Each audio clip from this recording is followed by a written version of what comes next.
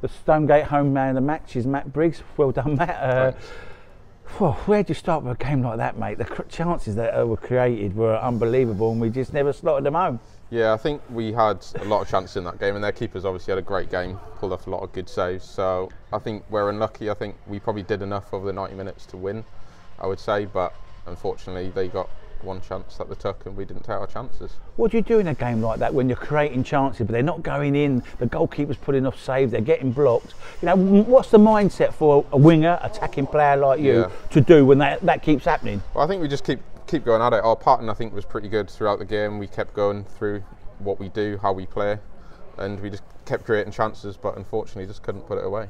Sure.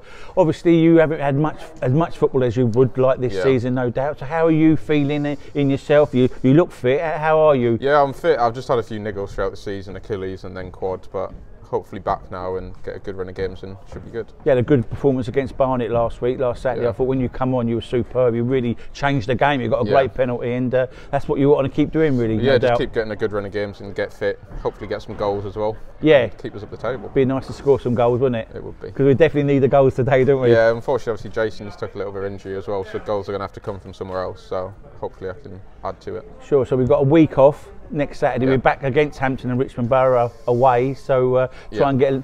Well, I don't like that word revenge, but it's trying to get uh, get Yeah, back. I think we'll have two good training sessions. I think this week, and then get back, back at it Saturday, and hopefully get three points. Sure. Well, thanks very much for your time, Matt.